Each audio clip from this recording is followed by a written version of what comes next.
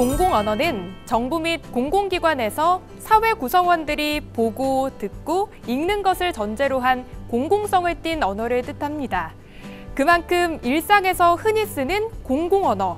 하지만 어려운 용어와 외국어, 한자어 등이 뒤섞여서 오히려 이해하기 어렵고 소통에 방해가 된다고 느껴질 때가 있죠.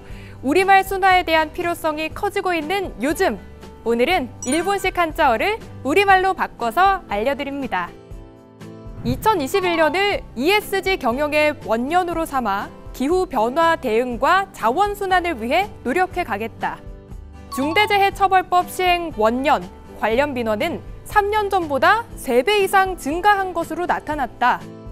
이 문장에서 바꿀 표현 바로 원년입니다. 경영의 원년으로 삼아 시행 원년이란 표현 많이 들어보셨죠? 원년은 어떤 일이나 사건이 시작되는 첫 해를 뜻하는 일본식 한자어인데요. 원년 대신 첫 해로 바꿔서 사용해야 합니다. 2021년을 ESG 경영의 첫 해로 삼아 중대재해처벌법 시행 첫 해와 같이 고쳐 사용할 수 있겠죠. 오늘 우리가 사용한 말 중에 다듬을 수 있는 말은 없는지 하루에 하나씩 이해하기 쉽고 쓰기 쉬운 우리말로 바꿔 사용해야겠습니다. 앞으로는 원년이란 일본식 한자어 대신 의미가 바로 전달될 수 있도록 첫해라는 말로 꼭 사용해 주세요.